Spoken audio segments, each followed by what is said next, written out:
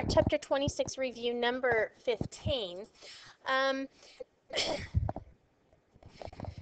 okay, so this question, of course, is about the source of the vegetable, you know, whether it was frozen, canned, or fresh, and then the rating that it achieved. So that is two variables, your rating variable and your source variable. So it's got to be a chi-squared test. Now, um, honestly, I think that you could probably go either way on this question as far as it being independent or it being homogeneous, and I am going to tell you why. Up in the top, it says you want to, a large chain randomly selects this to see if the source of vegetables affects customer reaction. So when it says, does it affect customer reaction, I'm basically wanting to see is the uh, food source independent of the rating. But then, if you look at the second paragraph, run a test at the 2% level of significance. By the way, that 2% level of significance means your alpha. To see if there is a significant difference between the ratings and the vegetable source. So, um, you know, this is uh, also kind of a key play on, you know, being the same. You know, is there a significant difference or are they, you know, do we have evidence to dispute them being the same. So if you had done this problem as a chi-square test of homogeneity, I could have supported that also. All right, but when you do a phantoms, you do not have a parameter of interest, so we start off with a null hypothesis. I said the null hypothesis is customer rating is independent of source of vegetable, and the alternative that it's not independent. Of course, this is saying it is not affecting it, the null is that nothing is going on, nothing is happening, it's not affecting it. And then the alternative is that it is affecting it. Okay, that the source is affecting it. All right. Um, random, I would say that individuals are selected randomly. Assignment to the type of vegetable is stated random. And so I guess I'm kind of saying that these three vegetable groups are representative of their respective populations. Um, so the question also is, what groups are you going with? Are your groups going to be good, average, or poor, or are your groups frozen, canned, and fresh? And I feel that they've got to be this direction because you're kind of going with the idea that the vegetable source is indicating the rating. So this is the, the vegetable source is the driver. So here's what you have here going on.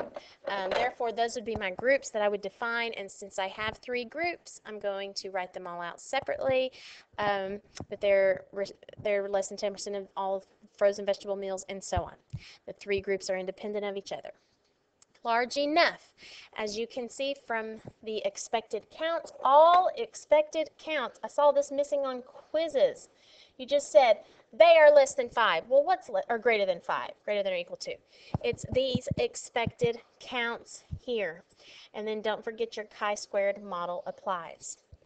All right, and so where I got these um, expected counts was probably from doing my, um, running my test. I put my data up here into matrix A, and then the process of running a chi-squared test makes the calculator create this matrix B.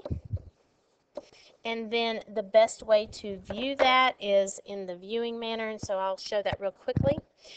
I said this was a chi-squared test of independence. Um, you might have gone with the chi-squared test of homogeneity.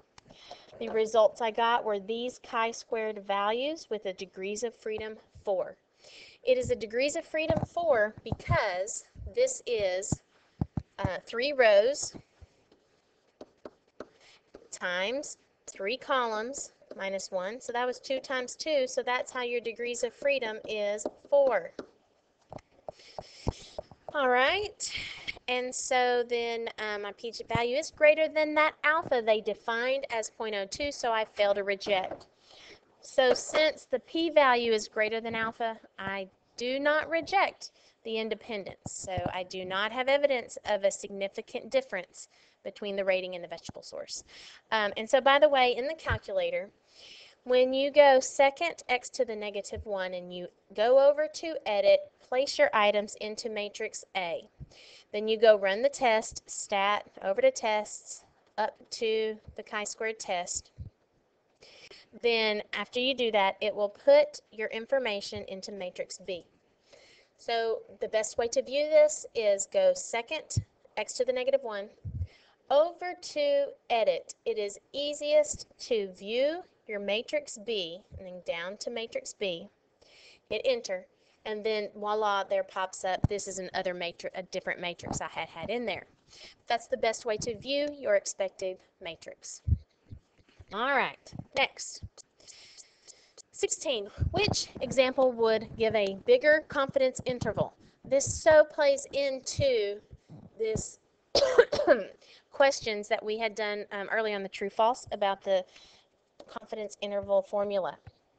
Okay, so here, you know, we were dealing with this confidence interval formula.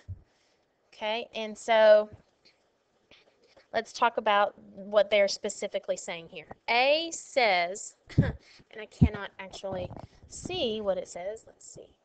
A says 98% confidence, okay, with n is 36. Okay, so confidence is the same. Critical value is the same. But what's different? N is going up. All right, well, let's investigate that. If N is going up, then what that will change is your standard deviation. Your standard deviation will go down. So, as N goes up, your standard deviation goes down, and therefore the size of the interval sucks in and is smaller. So the answer then for A, let's see, oh, it wants which one is bigger. The bigger one would be this portion here. That would, the smaller n would have a bigger confidence interval. Okay, B, you can see the size of the sample is the same, so that standard deviation is staying the same. The difference is 99% confidence versus 95% confidence. Remember, critical values, 99% confidence versus 95% confidence. So your 99% confidence is wider. So the 99% confidence is the larger interval. All right, 17. Describe how to find degrees of freedom for a chi-squared distribution for a goodness of fit the degrees of freedom is categories minus 1, and the chi-squared test of homogeneity or independence is rows minus 1 times columns minus 1. Number 18, when testing the claim at an alpha of 0.02 level, so that's your size of your rejection region, and the p-value is 0.025, should the null hypothesis be rejected? All right, so this is basic, basic, basic. If your p-value of 0.025 is greater than your alpha, you will fail to reject. You will fail to reject. Your p-value will go when the null hypothesis is low. If your p-value is low, the null hypothesis has to go. All right, second question, what if we were testing the alpha of 0.05? Well, in that case, your p-value of 0.025 would be less than alpha, and your p-value would be low. And if your p-value is low, then your null hypothesis has to go. All right. Number 19 is a problem, and so what we're talking about, and, and actually I need to kind of refresh my memory on this one. This was the night shift workers, and then what we had, well, they had the different shifts, okay, the day, evening, and night. And so they had these work periods, and I think what they did was they played different speeds of music and then compared what was the output that the workers were then um, having on that. Are they related? Are they related? Sounds to me is music speed and shift production uh, independent of each other. So it does say um, 0.05 level of significance, so that's alpha. So here's my whole phantoms without the p. There's my null hypothesis. Shift output is independent of music speed, and the alternative shift output is not independent of music speed. It is a chi-squared test of independence. Woo! Where are my conditions? Holy moly, they are missing. Um, okay, well, let's like quickly go through that, I guess. Man. So, random. They are randomly selected work periods. Um, and I'm assuming then that that's representative of uh, the people they pick are representative of all that shift. Okay, independent. There are three groups here. Um, and I'm going to say that the speed, we're kind of checking to see if the speed is having an effect on the production. So therefore, the groups I would be doing conditions on would be the slow, the medium, and the fast. And so then I would say, um, just kind of sounds strange, total that number up and say that's less than 10% of all uh, slow um, music, I guess. I don't know because this looks like production. So that's a little weird, okay? But um, that's kind of, you know, the formula we've been working with that I'd be saying that is less than 10% of all, probably it's less than 10% of all things produced on slow music and 10% of all the production on medium music and so on. And then you would do that for the fast is less than 10% of all produced on fast music. All right. So that's that.